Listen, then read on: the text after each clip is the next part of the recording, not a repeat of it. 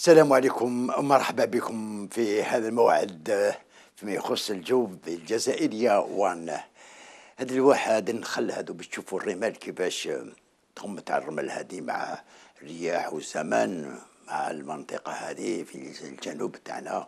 وين عطت هذا الديكور. bon تعرفوا باللي هذه الأيامات الرعود دارت حالة دارت حالة على المناطق الشمالية وكمية تاع امطار محليين كانت لاباس بها. آه البارح من البارح 6 تاع الصباح واليوم 6 تاع الصباح سجلنا بعض الكميات. نعطيهم لكم وهذه كميات همت خاصة الولاية الغربية وأيضا الوسطى خاصة الغربية. نبداو ب 4 ملم سجلناها في تيارت وفي الجزائر العاصمة في تنس سجلنا 12 ملم في منطقة عين بسام سجلنا 13 ملم هي ومدينة الشلف أما فيما يخص البويرة 21 ملم الله يبارك. المدية 35 ملم في المدية وهران 20 ملم في منطقة غليزان بغرب البلاد 31 ملم معسكر 23 ملم الله يبارك. سيدي بالعباس 53 ملم 53 ملم حب يقول 35 رتلة في المتر مربع 53 لتر أو mètre carré. الله يبارك. هذه كما نقولوا c'est نسبة تاع معدل تاع الشهر. ونختموها بمدينة سعيدة وين سجلنا 16 ملم ومازال الخير لانها مازال هذه الليلة هذه ننتظر بعد الرعود وأيضا بعد الأمطار. نشوفوا الحل كيفاش راح يكون صبيحه نهار الغد إن شاء الله على مستوى بلدنا عموما يبقى بعد الطقس متقلب وغير مستقل مع رعود وتقدر تمد الأمطار خاصة على الولايات الوسطى. وأيضا الشرق ما بين آه، نقدر نقولوا أقصى الجنوب وأيضا كل هذه الولايات بسبيل المثال بلاد الجزائر المديه البويرة تيزي وزو بجايه آه، برج بوعريريج المسيلة قسنطينه ميلة جيجل سكيكدة كل هذه المناطق. عنابة عموما تكون مغيمة الحالة هي وتبسة وسوق أهراس وقالمة اللي جايين مع تقريب الحدود.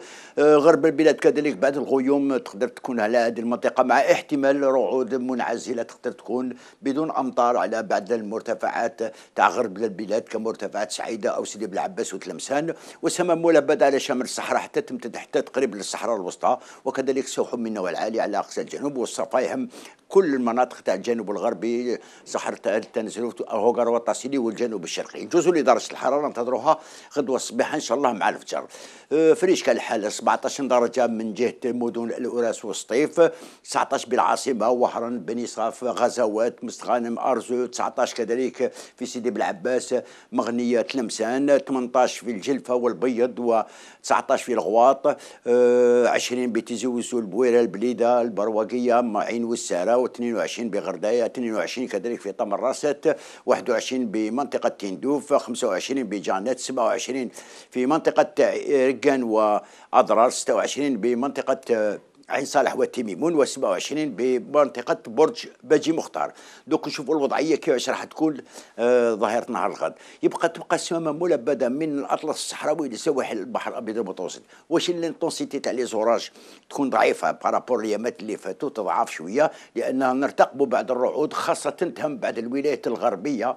كل الولايات الغربية من سواحل البحر الأبيض المتوسط وأيضا السواحل الوسطى حتى تقريب شمال الصحراء رعود تقدر تمد بعد الأمطار محليين خاصة على المرتفعات الجبلية بينما غرب شرق البلاد سما عموما ملبدة كذلك على الصحراء الوسطى. كذلك هنا احتمال بعد الرعود المنعزلة على منطقة تينركوك فاتيس بالقوزة تيميمون عين صالح كذلك حتى تقريب أضرار.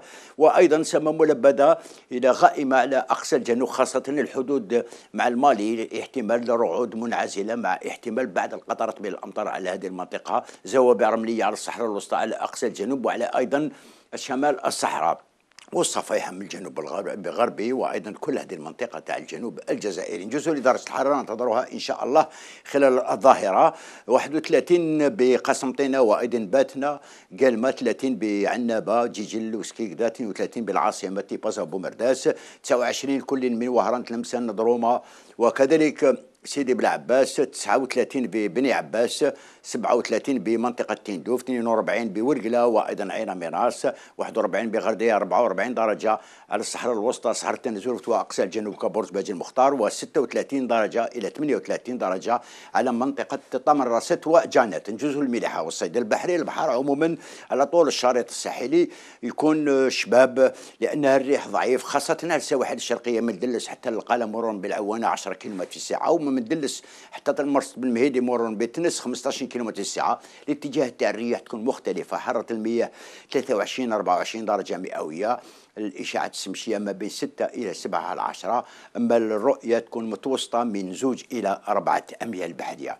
نخدموا هذه النشرة الجوية بالمعلومات الفلكية غروب وشروق قسم على الجزائر العاصمة وضوحية لهذه الحد 16 سبتمبر 2018 على الشروق والغروب دائما على الجزائر. العاصمة وضوحية ربي دوم قصتكم على الجزائرية. وان